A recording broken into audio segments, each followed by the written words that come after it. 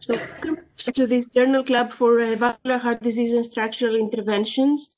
It is unique for us uh, because it's a collaboration between three journals, JACC Case Reports, JACC Interventions, and JACC uh, Cardiovascular Imaging. Also, it's very important for us to, that, to interact with you, with the audience. So please submit your questions. Um, I want to clarify the way that we selected these four cases that we will be presenting, that they're the, the ones that they had the highest scores in terms of uh, peer review. So now it's a great honor to welcome Dr. William Zoghbi, uh, who is a renowned cardiologist, echocardiographer, and cardiac imaging expert, Elkins Family Distinguished Chair in Cardiac Health, DeBakey Heart and Vascular Center, and Chair of the Department of Cardiology at Houston Methodist. Uh, also, he's a deputy editor for JACC Cardiovascular Imaging. Then uh, we have with us uh, Dr. Nicolo Piazza, who is a world leader in structural interventions, director of structural interventions at McGill uh, in Canada, also associate editor for JACC Interventions. Dr. Nadeen Faza, she's assistant professor of cardiology at Houston Methodist and CME editor for JACC Case Reports. Dr. Maurizio Taramasso, he is the director of structural interventions for University of Zurich and associate editor for JACC Case Reports. Dr. Edgar Argulian, he's associate professor of medicine and program director for the Cardiovascular Disease Fellowship at Mount Sinai in Morningdale, Morningside and associate editor for JACC Case Reports. And Dr. Rafael Vidal Perez, cardiology attending cardiac imaging unit at University Hospital in La Coruña in Spain, and of course our associate editor. So after the introductions, uh, we'll move uh, straight away to the first case, and I will give the word to Dr. Nadeen Faza. Nadeen? Thank you so much, Dr. Grapsa. It's an honor being here today with you all. We'll start with the first case describing catheter restoration of left ventricular outlet in a patient with an implanted apico-aortic conduit.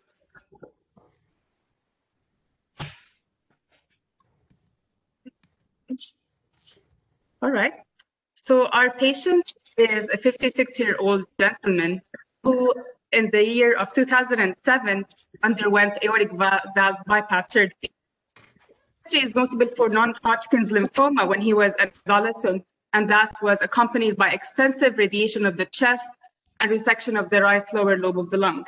At the age of 44, he developed symptomatic aortic stenosis. Here, his aortic valve area was about uh, 0.9 with a mean gradient of 50 in the 50s, um, with extensive aortic calcifications uh, leading to a porcelain aorta.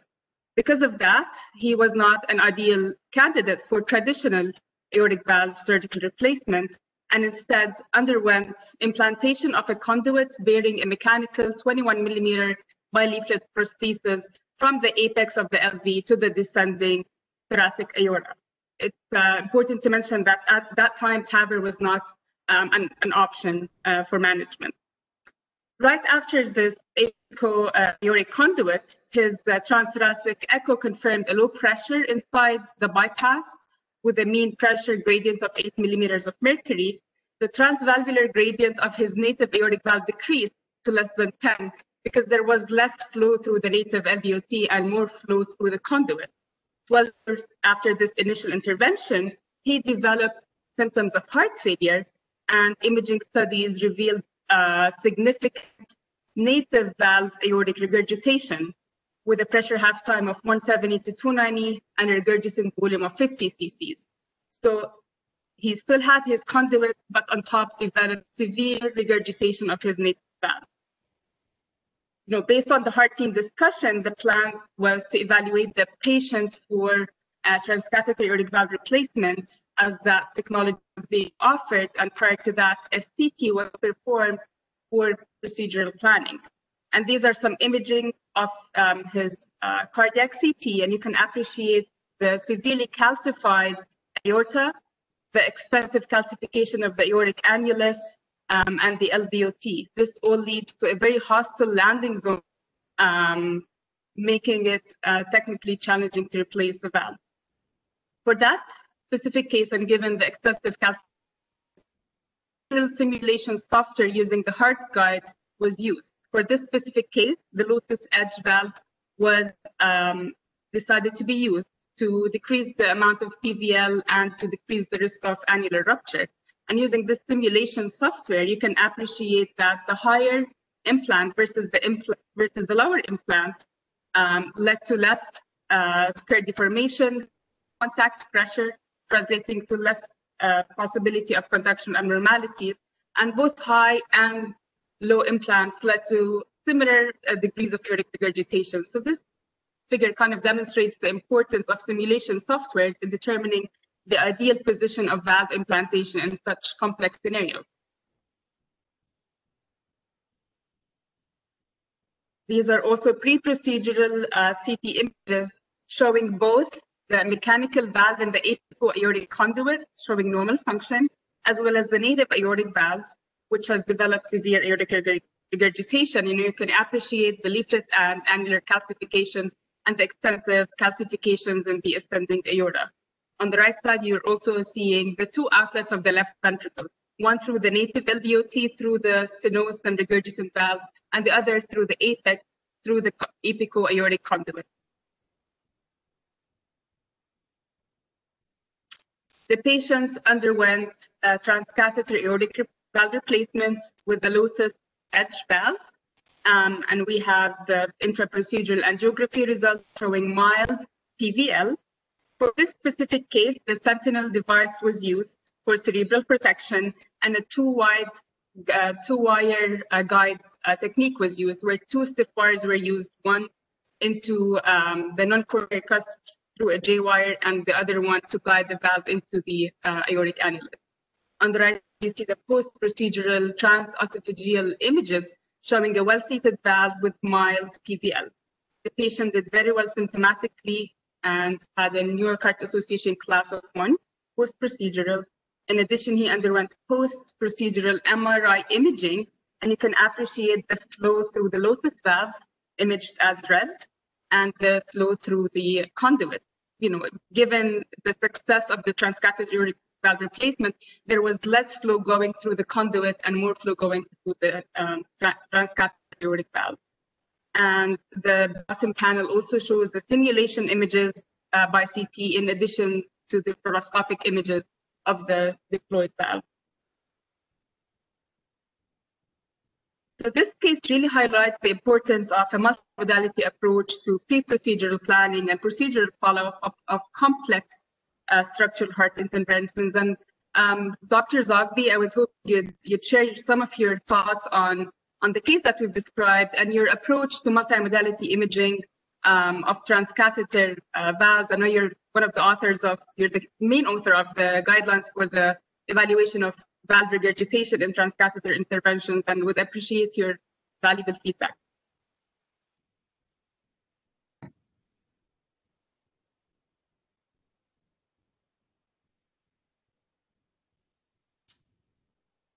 Dr. Zoghbi, uh,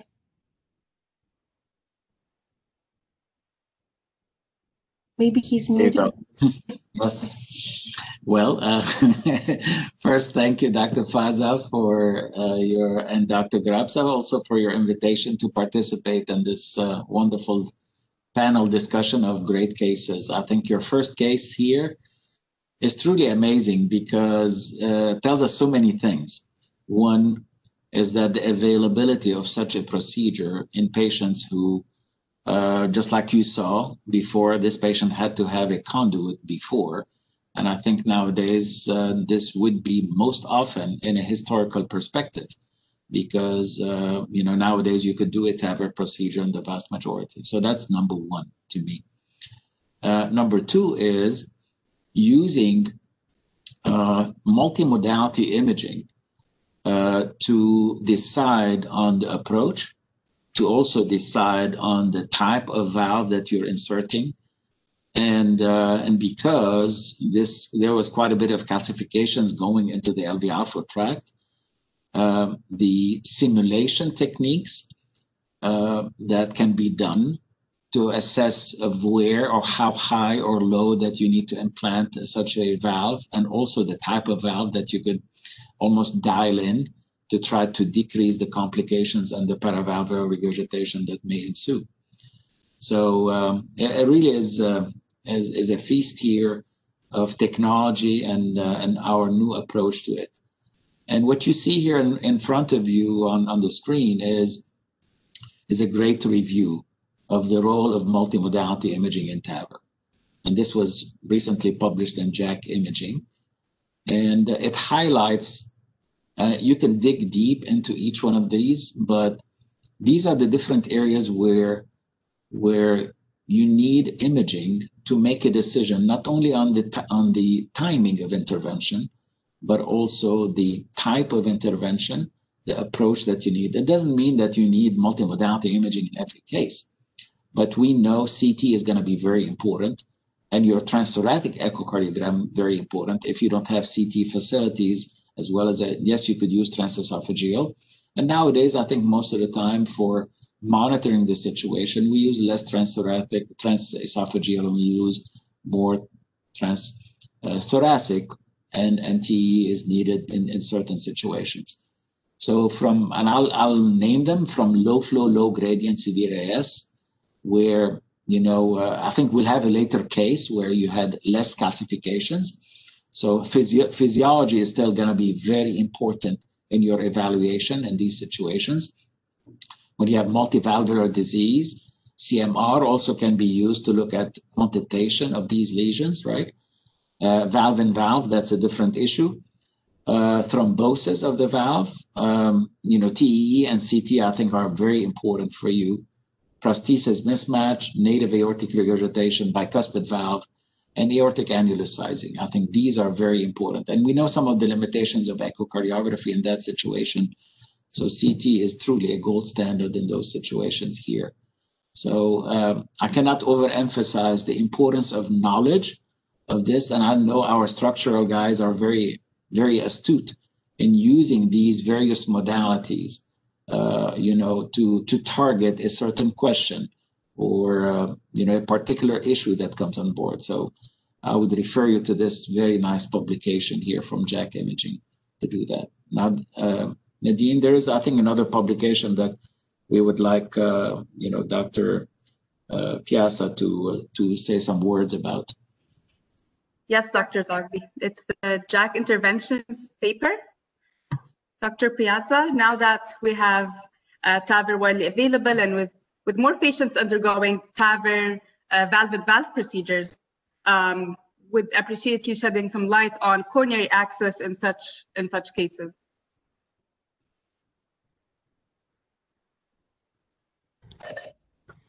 Okay, so I'm un unmuted. So I, I think this last case that was presented um, in a very young patient ties in very well with coronary access after TAVR.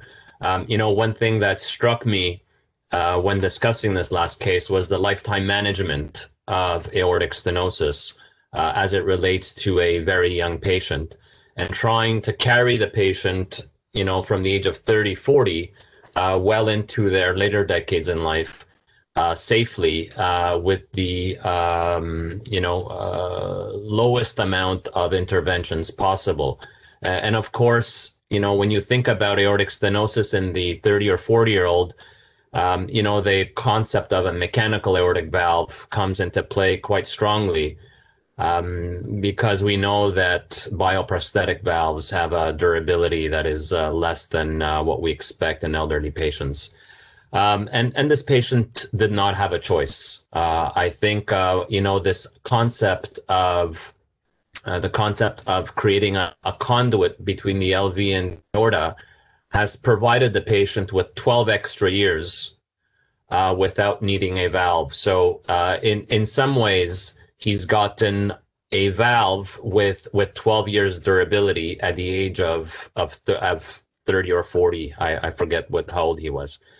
Uh, so that was, uh, I, I, you know, that was pretty uh, revealing to me, and it's something I'll keep in the back of my mind as a as a potential treatment option in my patients in the future. Uh, now, coming, uh, you know, when I saw this valve implanted, of course, my my thoughts went to the coronaries because on CT scan, I did see that there was calcification of the coronary arteries, and you can also see it on the fluoroscopic images. And so, um, you know, the, the depth of implant of this lotus, lotus valve becomes very important um, and how much clearance you have uh, for for coronary access. When when you think about when you think about coronary access, uh, you think of two valve designs. You have the intraannular valve designs and you have the supraannular valve designs. Uh, we know from previous studies that the coronary access is nearly 100% selective in those with intraannular valve design. So uh, balloon expandable, mechanical expandable, as this patient had. Uh, and the selective intubation of coronary arteries drops down to about 50 or 60% with, with um, self-expanding valves that span the height of the uh, sinotubular junction. Um, you know, so you know, you have a nice image there on the left-hand side, uh, the central illustration uh, demonstrating what a valve-in-valve looks like uh, with two supraannular designs. Uh, and of course, you can imagine that the cross-linking of, of the two frames uh, leads to a jailing of the uh, coronary arteries. Not only that, the fact that these leaflets are supraannular, when you implant a second valve, those leaflets are going to be pushed aside, and those leaflets are sitting at the level of the coronary arteries. So you're basically creating an elongated tube.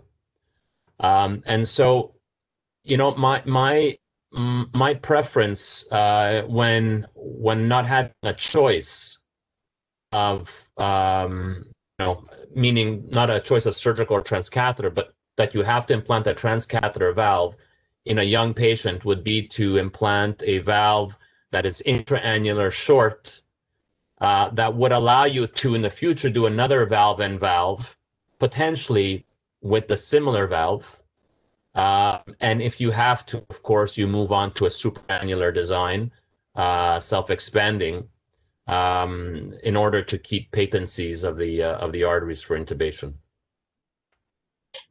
so um, just a question from my side. So you think that the the operator will think because he's still a young man that in 20 years from now he might need another valve in valve.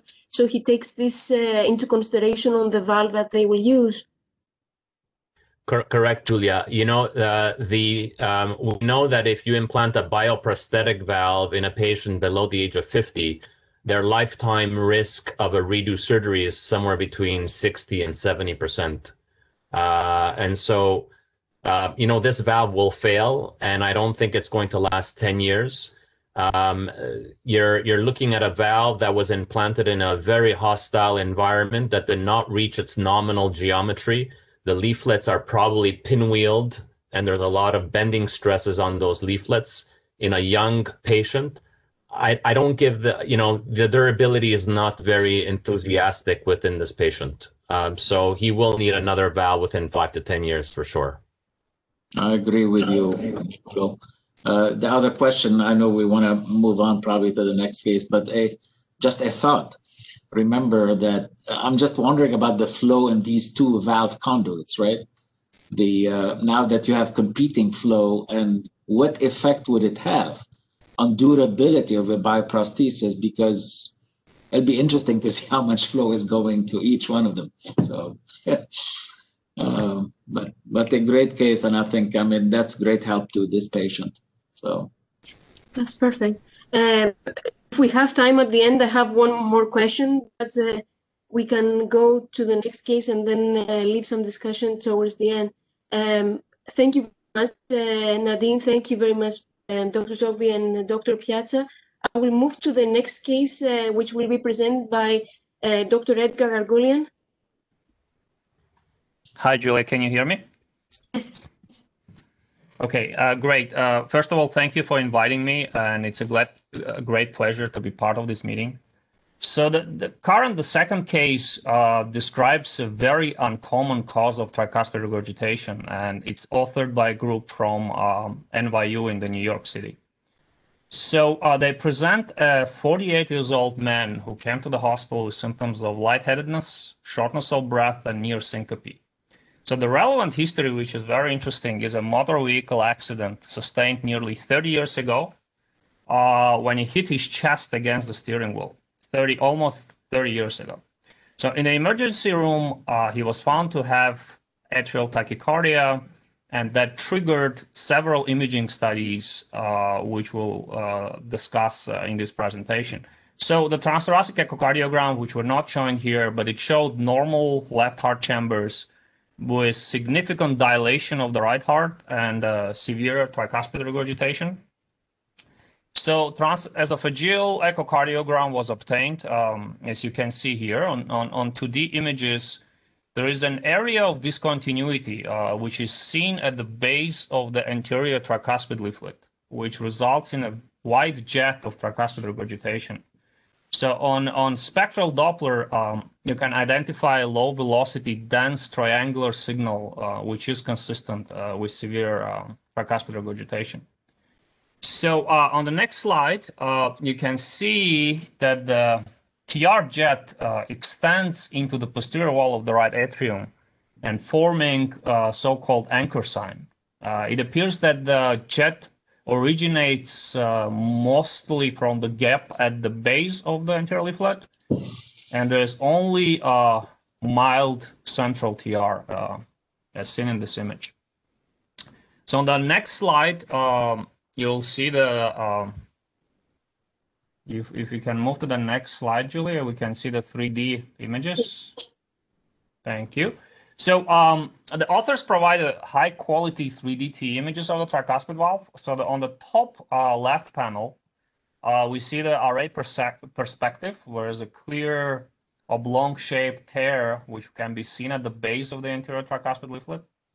And uh, they also provide transillumination rendering that allows manipulation of the light source and nicely demonstrates a dynamic change in the size of the orifice. Um, and you can see the color Doppler uh, on this slide, uh, 3D color, which shows the TR exiting through the avulsion.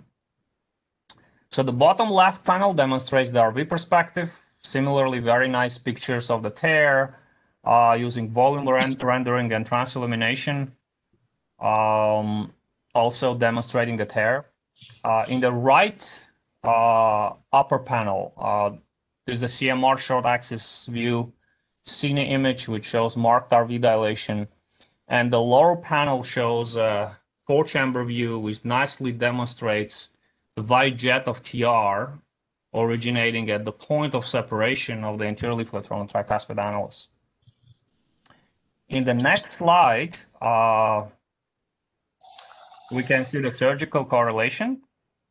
Uh, you can see how the surgeon identifies the tricuspid leaflets. It shows clearly the avulsion at the anterior leaflet attachment, what, what we clearly saw on the 3D uh, TE images. So it's a very nice pathologic correlation. Uh, in the discussion, the authors postulate that the reason for avulsion was that accident uh, that happened almost 30 years ago, as I mentioned in the history. And uh, the possible mechanisms uh, that they mention in their discussion is uh, uh, rapid deceleration, because it was non-penetrating injury, uh, rapid deceleration, chest wall compression, and sudden rise in RV pressure. But they also mention two very unusual aspects of this case, uh, which is first, it's a late presentation, decades after the injury, I guess it's a young patient, so it could tolerate uh, this degree of regurgitation for a long time. And the nature of the tear, uh, you see the tricuspid valve injuries with uh, blunt injuries, uh, non-penetrating injuries, but this type of avulsion right at the base of anterior leaflet is, is a little bit unusual. Um, so very, very interesting case. Uh, if, if we can move to the next slide, um, we have um, I, I know this is an unusual case, but uh, recently there's been a lot of interest in tricuspid regurgitation uh, from imaging perspective, and, and there are two reasons for it. So reason number one is that we started to realize how much tricuspid regurgitation matters uh, in terms of the prognosis. And reason number two, there are evolving therapies, including transcatheter therapies, that are specifically designed to, to address uh, this problem. So uh, at this point, I, I, would like to address Dr. Zoghbi, Dr. Piazza to, to comment on, on these two uh, aspects. Thank you, Edgar. Uh, an amazing case also. And uh, I think this is an underreported and under-recognized entity. And I'll share with you also that we just had a case, a recent case of a distant, again, time-wise trauma. Uh, and if patient, I mean, you know, as you know very well, significant TR is is uh, very well tolerated, right? Even acutely is very well tolerated. So, um, and you don't know whether in this situation it kind of got progressive over time, although the tear is is also an amazing, unusual place. And I know most of the time when somebody has a you know motor vehicle accident and uh, we look for troponins and a right ventricular injury, contusion injury, uh, but you know TR may be less uh, thought of. But I think one lesson from this case is if you see unexplained significant tricuspid regurgitation, a history of a distant, uh, you know, injury, uh, you know, uh, trauma would be very important. And if, in case you don't have any simple answers to to what you see from a significance of tricuspid regurgitation. So I think that's number one. Number two also is I would refer you to this uh, article that I think was spearheaded by Dr. Rebecca Hahn, and uh, I and many others actually have been also involved in, in writing this state of the art review about tricuspid regurgitation and assessing its severity. On the surface, it looks easy, but let me tell you, it is difficult to quantitate. Uh, we usually use, I mean, these are not new actually from an echo part, point of view. You look certainly at color Doppler, and it's three components, as we usually say, that you have to take a look at the three components of the jet and um, you know underestimate or underemphasize, if you will, what's going on in the receiving chamber because at times these can be very eccentric. We always look also at the hepatic veins and the flow pattern in the hepatic veins, and I think with these two, most often we do a semi-quantitative, you know, assessment in addition to what happens to the shape of the TR jet by CW. The, these are the three things in general, and there are there are semi-quantitative, they're more qualitative. And I think we're learning more and more how to do quantitation.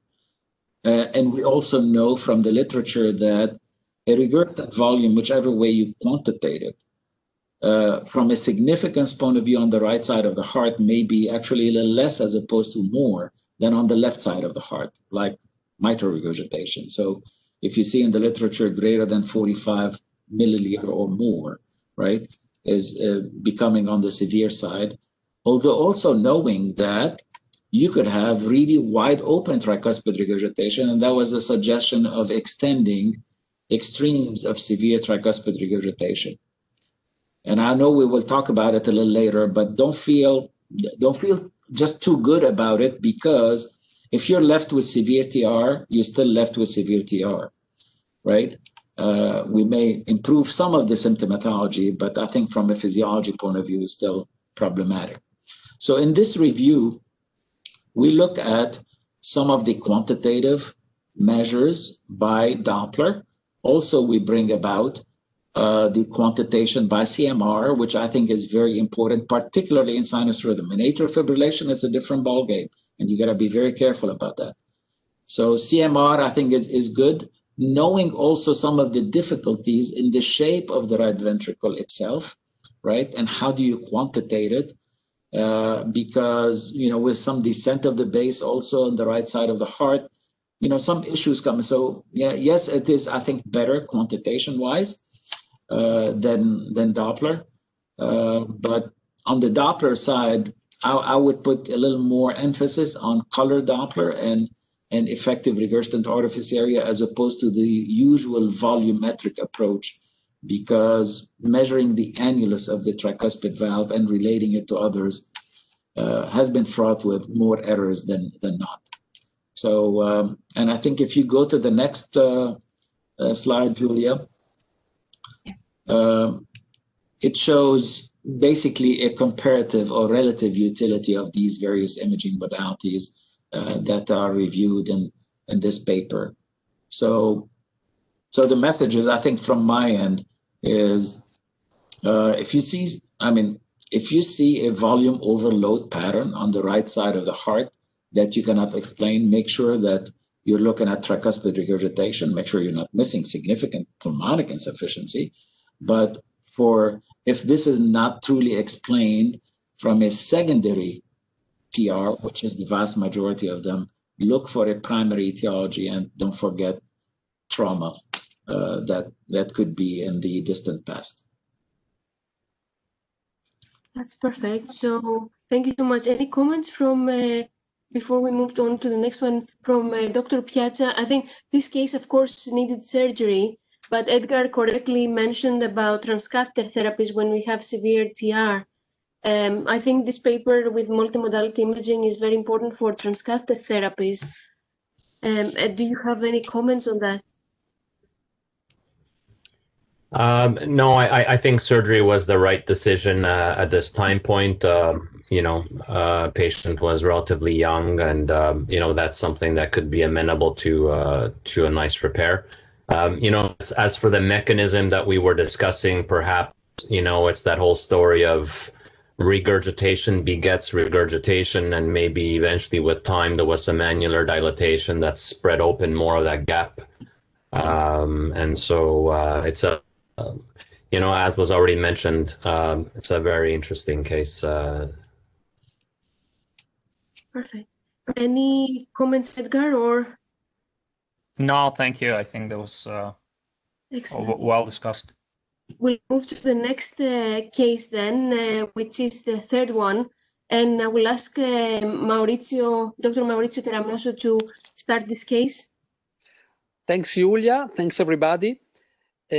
Uh, I think this case is really well connected with the previous one because now we, we have a transcatheter case and it is particularly interesting because it reports for the first time a new device which has been used in human. In this case is the result of uh, um, multi, uh, let's say, international cooperation, as you can see from the list of the author. And uh, next slide. Um, so as I told you, is a is a description of a case of a patient with a severe functional tricuspid regurgitation, which was uh, quite young, 69 year old, severely symptomatic for uh, right side uh, heart failure, and uh, which was uh, under maximal vesical therapy and was judged as high risk of inoperable for surgery. Since the main mechanism for uh, functional TR was annular dilatation, it was decided to to candidate this patient to this uh, new approach that has been already reported in, in preclinical experience, which is a complete annuloplasty device, which is called DaVingi annuloplasty from cardiac implant. You can see here how the device is done is a complete uh, annuloplasty, complete band, which is uh, attached to the tricuspid annulus by different uh, anchors element. As all annuloplasty devices, uh, it requires a careful patient selection and procedural planning. Next slide. Here you can see a CT reconstruction uh, made with Heart Navigator, actually showing the um, angle of implantation, so the working plan with fluoroscopy, also showing the proximity of the right coronary artery with the tricuspid annulus, which may be injured during the implantation.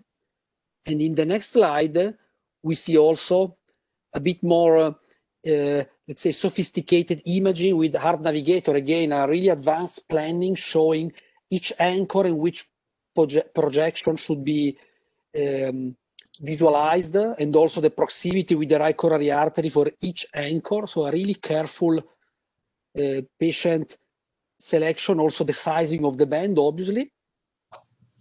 Next slide. And here you can see how the uh, how the device work. Actually, the the access is the jugular vein, which is uh, not uncommon for tricuspid intervention. And the, the main feature of this device, which is obviously mainly uh, echo-guided implantation, is that all the anchor are implanted simultaneously. So you can see now, once you are, uh, let's say, in a good position, you inflate this balloon, and then the balloon keep the anchor in contact with the with the annulus at the hinge point. Each anchor should be checked by transesophageal echo. And then all together in a single shot way, the ring is delivered. And this is pretty much interesting and different from, from other devices. Here you can see the implantation of all the anchor and then the, the device is retrieved. So detached, you can see now the, the ring in place. Interestingly, at the moment, there is no effect. So this is just the implanted ring. But another peculiarity of this device, which is pretty smart, if you if you move to the next slide, is that uh, so here you can see the 3D how it looks like, but the annulus is not activated yet. So this ring is adjustable. So in uh, uh, 90 days, the operator can come back. So after that, the anchor are really well, uh, let's say, integrated within the tissue and endothelialized.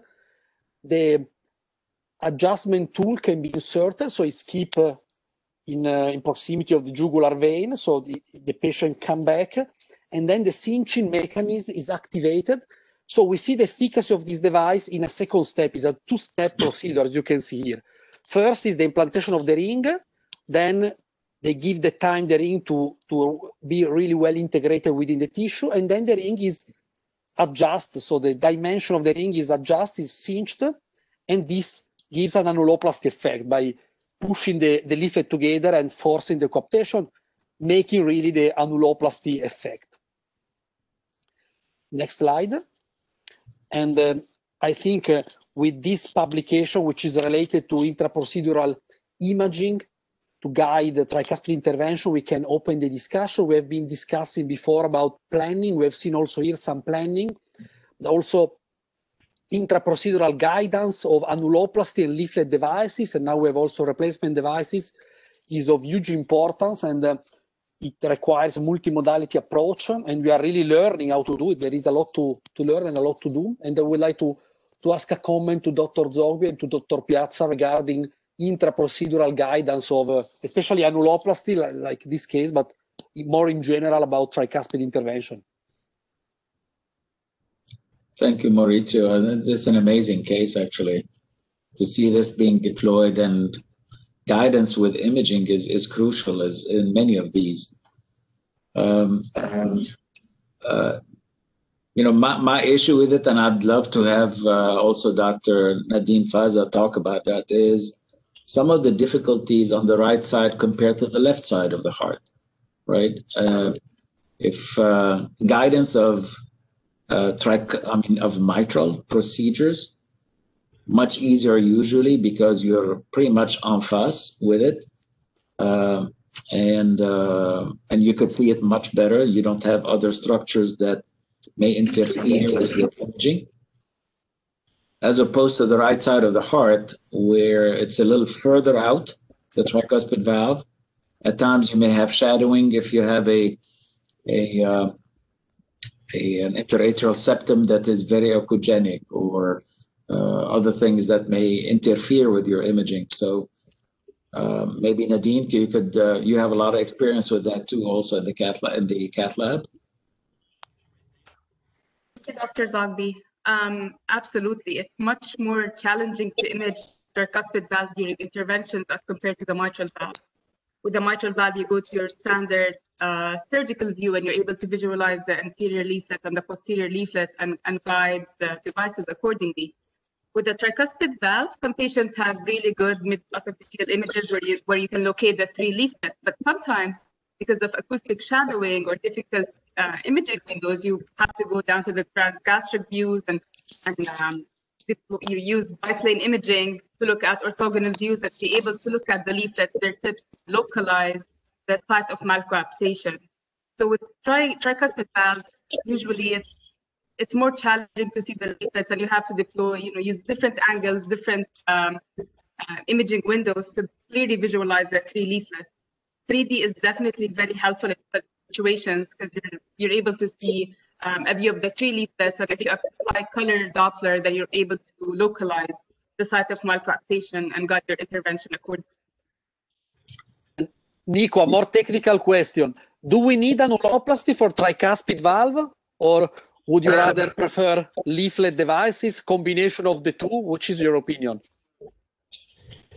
Yeah, it's a it's a good question, Maurizio. Uh, you know, this is of course a, a, complete ring, and so with the question of um, you know uh, injuring the AV node and um, you know creating conduction disturbances comes to mind. Um, you know, we know from the um, surgical literature that um, you know rigid rings, uh, or at least uh, yeah, rigid rings do better than suture type uh, of annuloplasty devices. Um, and so, uh, of course, what's very attractive about placing a ring is that it leaves the option for other devices to come into play. So you can put in a clip, you can put in even a, a transcatheter tricuspid valve replacement.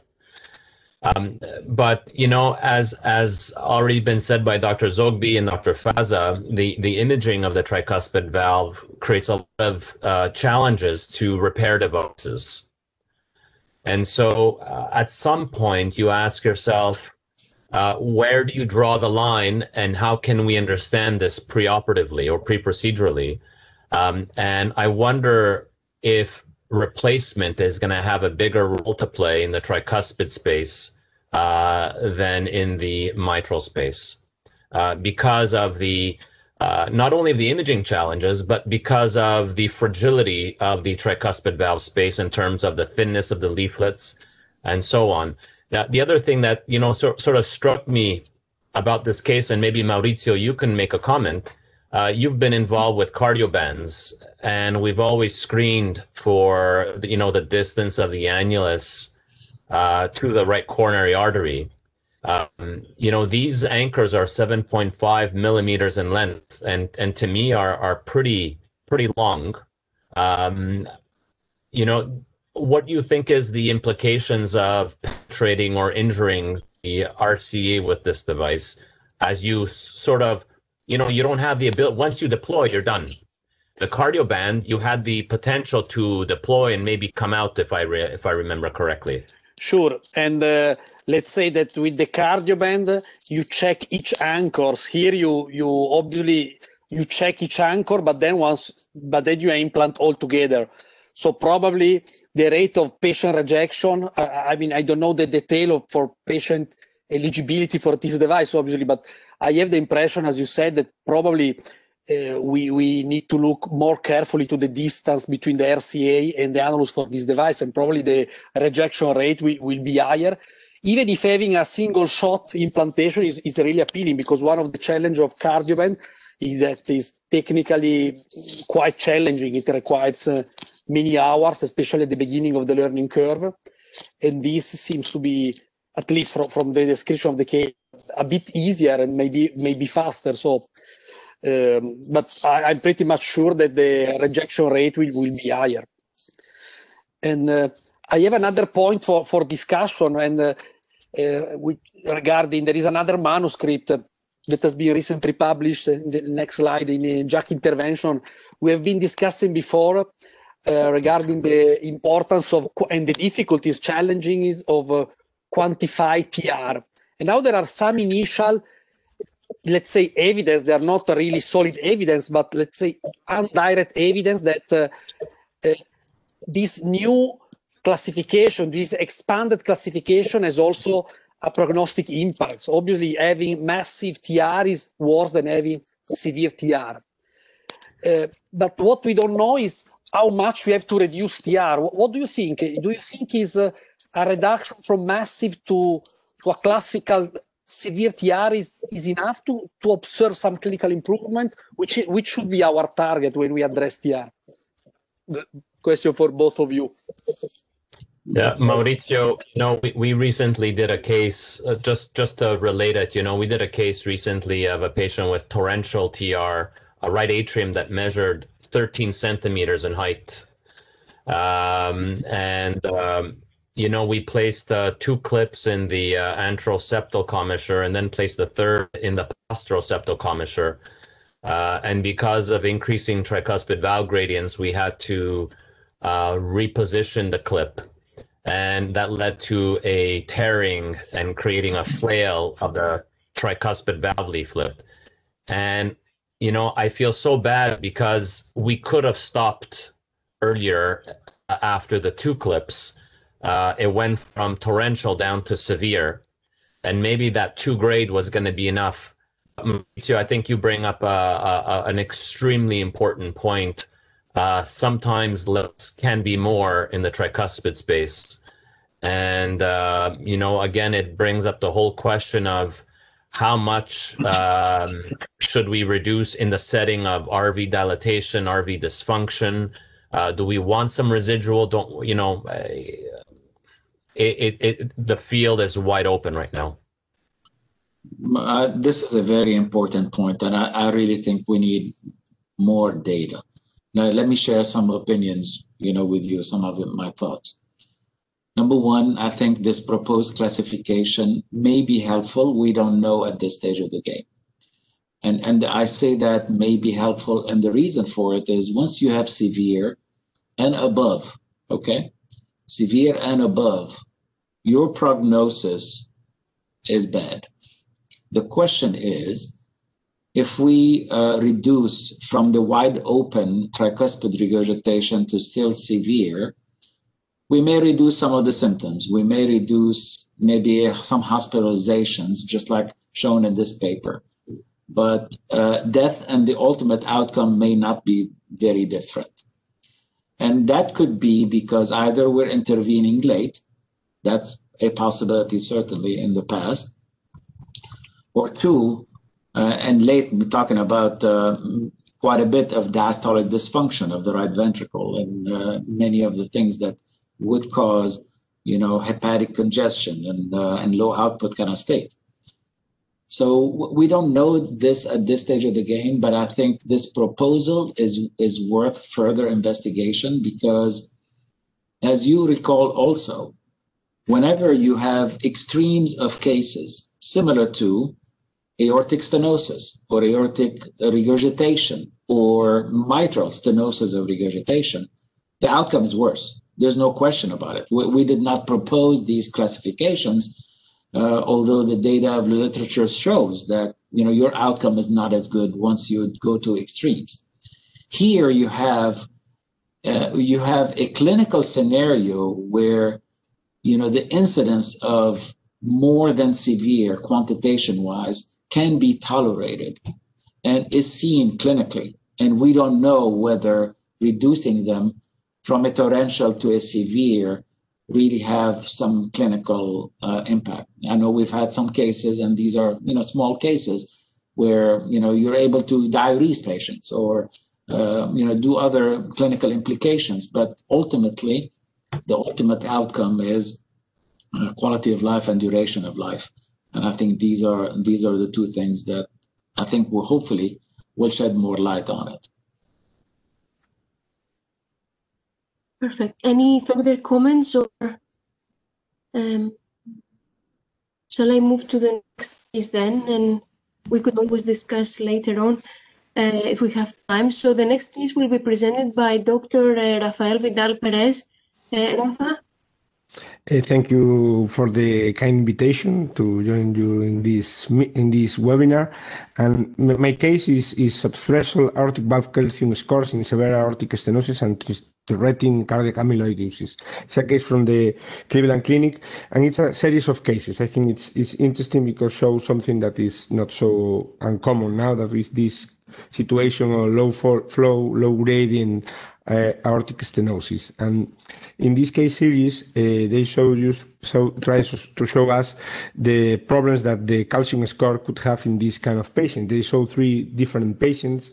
I think interesting also the case from the European perspective because you see here African American patients.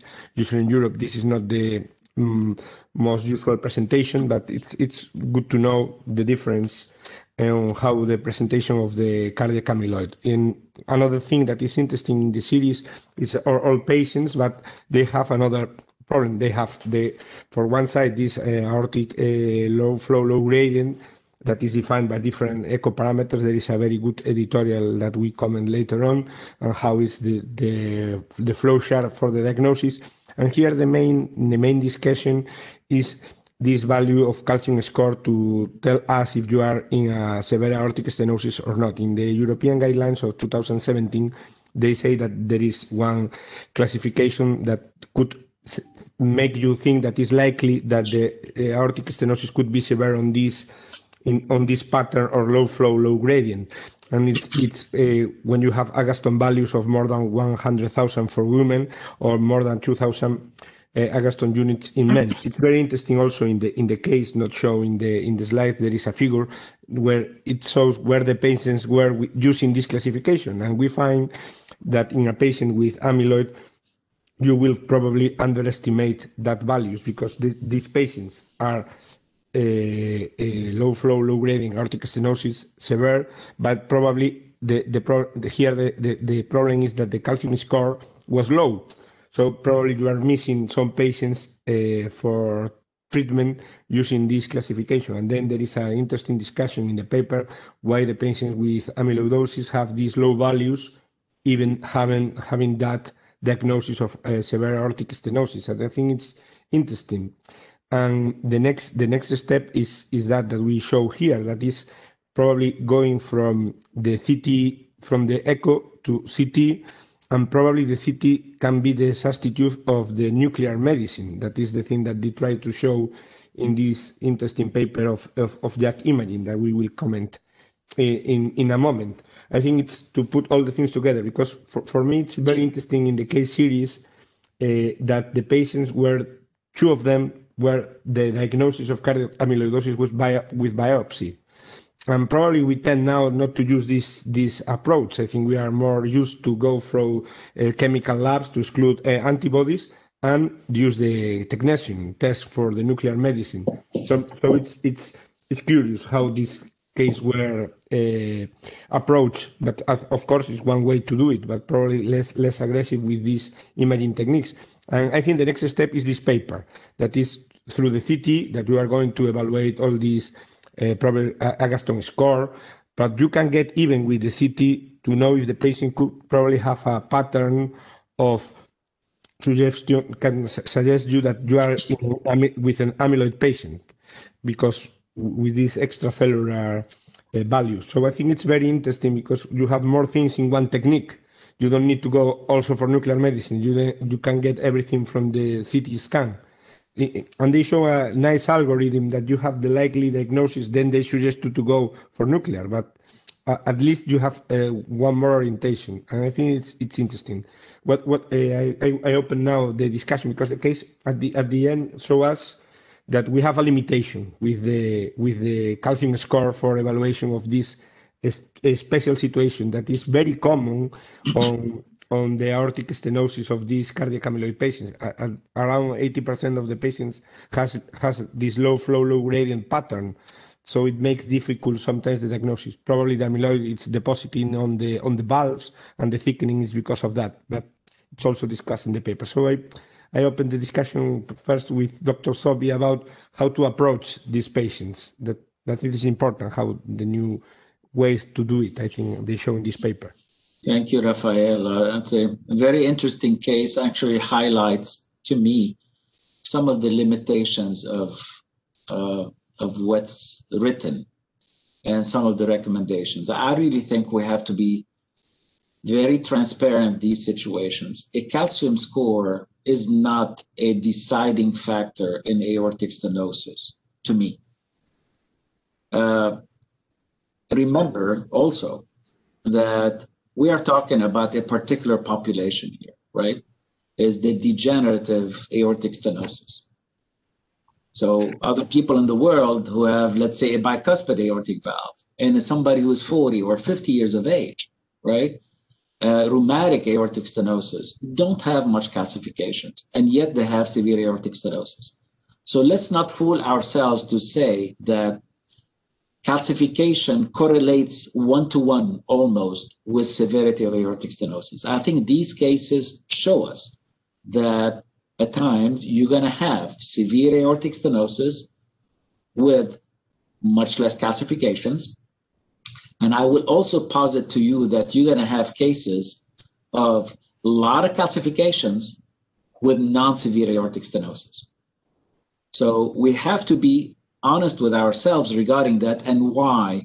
Because the narrowing of the orifice of the aortic valve right? Narrowing of the aortic orifice of the aortic valve. This is not where the most of the calcium is present. Hmm. In degenerative aortic stenosis, the vast majority of the calcium is either in the annulus or in the cusp itself.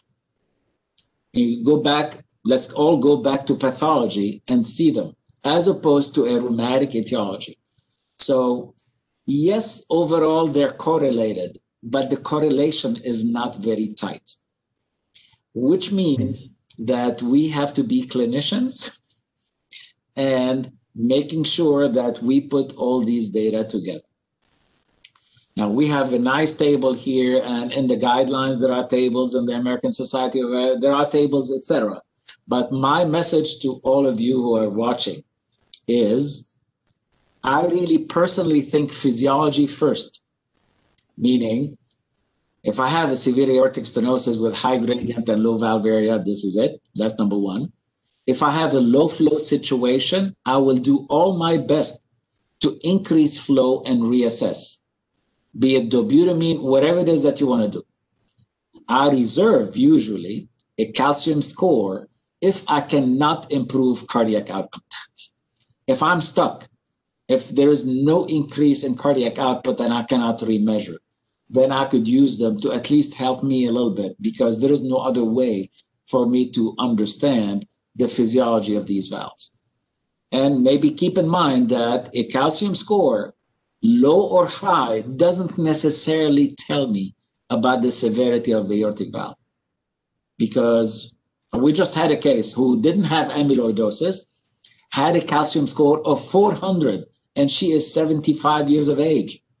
Barely i mean it's there but most of the stenosis and it's not rheumatic.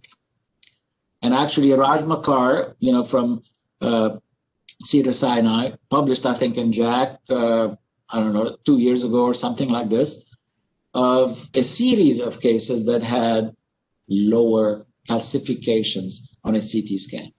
So from my end, the message is put it all together.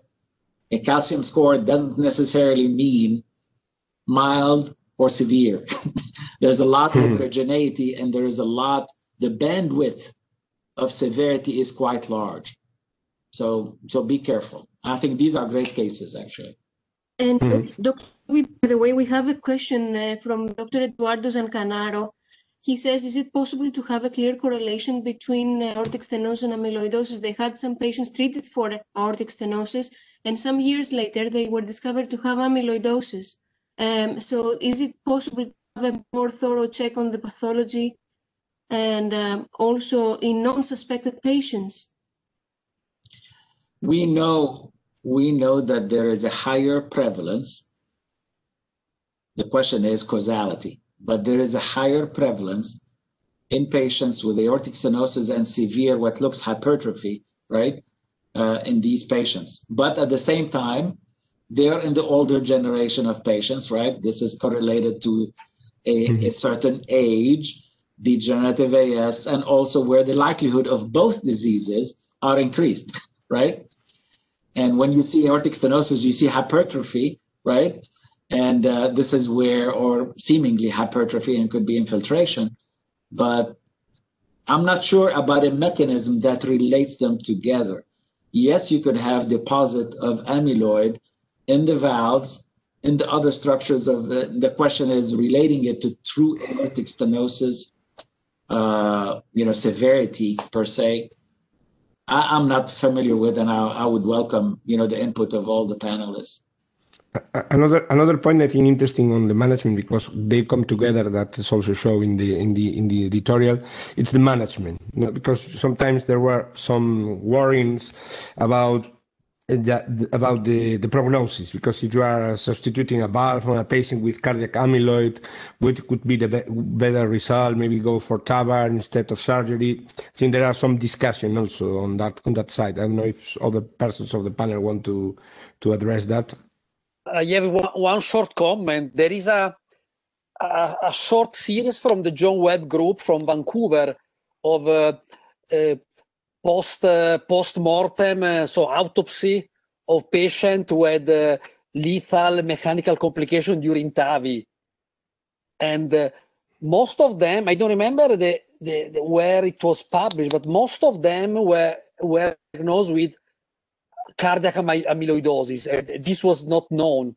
So there is, there is for sure, when we see a, let's say, a hypertrophy which is too much as compared to the grade of stenosis, we, we should always think to, to, to amyloidosis uh, and we should always take, uh, let's say, uh, a, a, bit more attention because the risk of damaging the ventricle with wire perforation, it was mainly wire perforation, I think. So the tissue is probably, but obviously, if, if, this is better or worse with uh, SAVR than, than TAVR, I don't know.